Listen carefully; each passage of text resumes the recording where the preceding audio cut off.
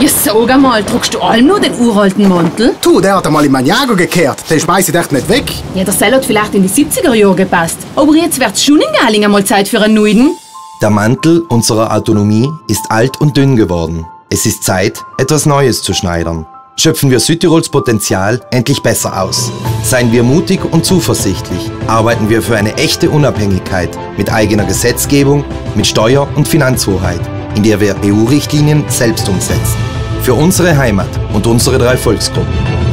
Wählen Sie am 21. Oktober die Freiheitlichen und geben Sie die Zukunft Südtirols in sichere Hände.